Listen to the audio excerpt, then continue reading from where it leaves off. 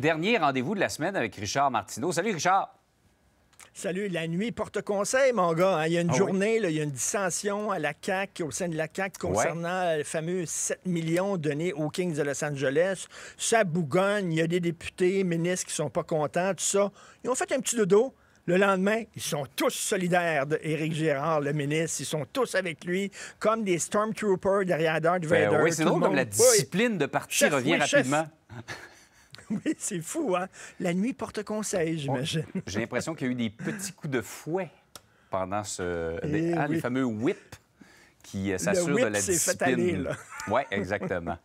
Hey, euh, Richard, on vit une période, on a vu une- vécu une semaine avec euh, ces mouvements de grève. On dit ça va mal en éducation, les hôpitaux débordent, on connaît l'état proverbial de nos routes. Donc, tu trouves que le système craque de partout, pour être poli? Ben, écoute, là, euh, regarde, mettons ça ensemble. On a vu aujourd'hui, le vérificateur général dit que ça coûterait 10 milliards de dollars pour les routes, entre autres. Les routes sont en très mauvais état, on le sait. Ça coûterait 10 milliards de dollars pour avoir un asphalte qui a de l'allure. Euh, bon, ça, ajoute ça à les gens vivent de plus en plus vieux, OK? Donc, euh, ils vivent de plus en plus vieux, donc il y a de plus en plus de bobos pendant de plus en plus longtemps. Alors, ils ont besoin de soins de santé, là. Alors, ça fait une pression au point de vue des hôpitaux. Les gens qui vivent de plus en plus vieux, avant, tu prenais ta retraite à 65 ans, tu mourrais à 66. On te payait un an de fonds de pension. Maintenant, tu prends ta retraite à 65, tu meurs à 85. On paye pendant 20 ans à rien faire. Ça coûte cher. Tu sais que Radio-Canada reçoit 1 milliard 300 millions par année. Je serais curieux de savoir le pourcentage de cet argent-là qui va rien que dans les fonds de pension des anciens employés de Radio-Canada. Et ça, écoute, ça fait énormément de pression sur les finances publiques. Les écoles, euh, de plus en plus de colours, de plus en plus d'enfants qui sont mal élevés par leurs parents, qui sont violents. Dès qu'il y a un problème social, on demande à l'école de régler ce problème-là. Ajoute avec ça les médias sociaux, les téléphones intelligents, les enfants qui ont la capacité de concentration d'un écureuil sur une ligne de coke.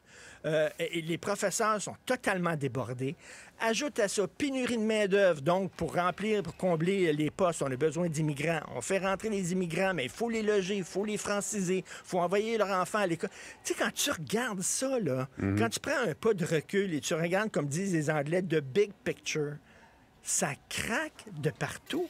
Et là, on a besoin d'argent, on a besoin d'argent. Puis là, ben, tu peux pas imposer et taxer davantage ouais, les gens. ça. Ils sont pris à la gorge avec l'inflation. Pour créer de l'emploi, ben là, il faut que tu allonges des milliards de dollars pour que les entreprises viennent chez vous. Sinon, si tu ne leur donnes pas suffisamment Ouais. d'argent, ils vont aller s'établir ailleurs. Et tu regardes ça, là, le système, là, étant, il tient avec de la broche. Exact. hein. On a Mais ça, Richard, sans cette expression-là. nécessairement se porter à la défense du gouvernement, c'est le résultat de décennies Ben de oui. sous-financement dans tous Ben, ces domaines-là.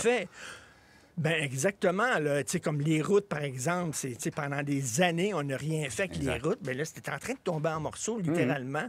Et euh, écoute, on regarde le, le Québec, là, et je reviens là-dessus, ça tient avec de la broche. On en a beaucoup Ah parlé oui. de cette expression-là la semaine dernière, mais c'est tout à fait vrai pour le Québec moderne.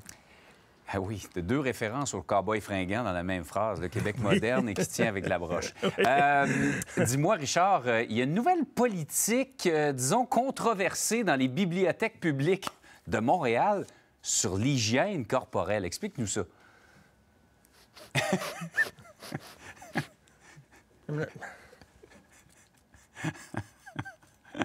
Je m'en vais à la bibliothèque tantôt, je suis juste à côté ici. Alors, euh, c'est la presse qui sort ça à partir du 1er janvier à la- euh, dans les 45 bibliothèques publiques de Montréal. Si tu pues trop, on va te sortir. OK? Je ne sais pas s'il va y avoir des inspecteurs qui vont se Ben, promener. c'est les- quoi la limite? C'est quoi le- comment on calcule ça exactement? Alors, écoute, c'est vraiment ça la politique. Donc, on voulait pas dire on veut pas d'itinérants. C'est contre la charte des droits. Puis les Mm. itinérants, ils ont le droit, eux autres aussi, d'aller lire des livres dans la bibliothèque. Fait qu'on dit, bon, on peut pas dire, ben, on, on- tiens, on- si tu pues, c'est ça. On va sortir les gens qui puent parce que, bon, itinérants, prennent pas leur douche, ils doivent puer, etc. J'ai- quelque chose à dire là-dessus. Là. Je suis en train de lire une biographie de Frank Sinatra. Là. Tu vas me dire, c'est quoi le maudit rapport? Ouais. Suis-moi, suis-moi. Je te suis. Frank Sinatra. Marilyn Monroe était amoureuse de Frank Sinatra. Elle voulait le marier, OK? Elle tripait sur lui. Il aimait pas Marilyn Monroe. Il trouvait qu'elle puait. Elle sentait pas bon. Oui, monsieur, Marilyn Monroe se lavait pas.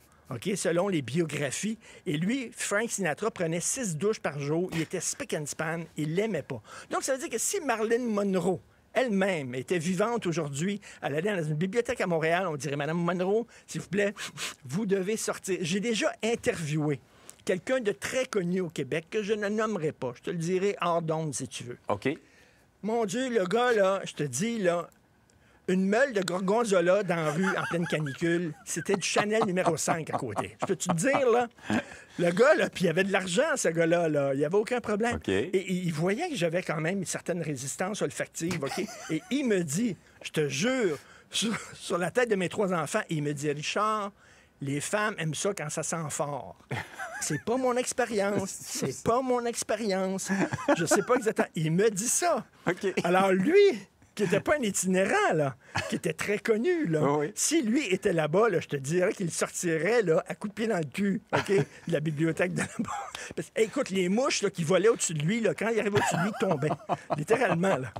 Alors, Mais moi, j'adore la déclaration Les femmes aiment ça quand ça sent fort. Aime ça quand ça sent C'est un fort. état Mesdames d'esprit à la maison, particulier. Est-ce que vous aimez ça? Est-ce que vous aimez ça quand ça sent fort? Je En sais pas. Mais en tout cas, Parlant de fort, ça finit euh, la semaine fort. Oui. Donc, euh, vous avez une, une politique comme ça sur, euh, sur l'odeur. C'est assez particulier, mettons, dans les- à partir du 1er janvier. Alors, si vous allez à la bibliothèque de Montréal, s'il vous plaît, hein, Aspergez-vous, ouais. Parfumez-vous. Hey, bonne fin de semaine, Richard. À lundi. Bon week-end, salut.